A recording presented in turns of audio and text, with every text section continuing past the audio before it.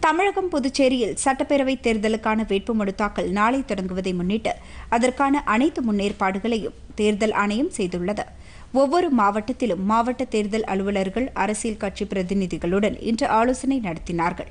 தமிழகத்தில் இருநூற்று முப்பத்தி நான்கு தொகுதிகளிலும் வேட்புமனு தாக்கல் நாளை தொடங்கி பத்தொன்பதாம் தேதி வரை நடைபெறவுள்ளது. வரும் இருபதாம் தேதி வேட்புமனு தாக்கல் மீதான பரிசீலனை நடைபெறுகிறது.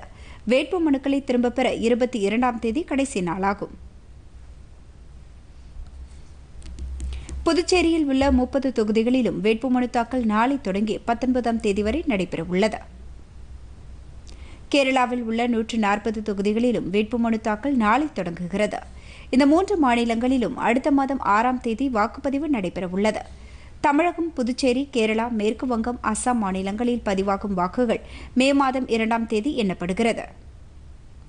தமிழகத்தில் சட்டமன்ற தேர்தல் வேட்புமனு தாக்கலுக்கு நாளை பல்வேறு கட்சி வேட்பாளர்கள் முன்வருவார்கள் என்பதால் அதற்கான முன்னேற்பாடுகளை தேர்தல் ஆணையம் மேற்கொண்டுள்ளது.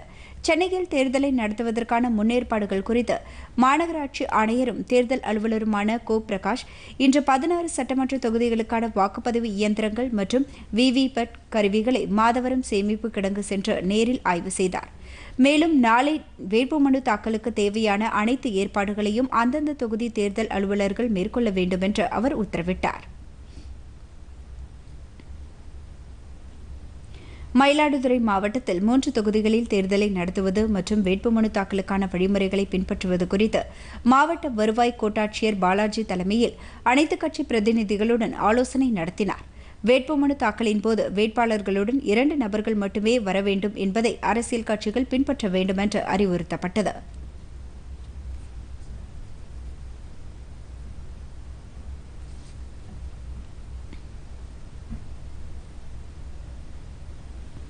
இதுபோன்ற பல்வேறு மாவட்டங்களிலும் தேர்தல் முன்னேற்பாடுகள் குறித்தும் வேட்புமனு தாக்கலுக்கான ஏற்பாடுகள் குறித்தும் மாவட்ட தேர்தல் அலுவலர்கள் இன்று ஆலோசனை நடத்தினார்கள்.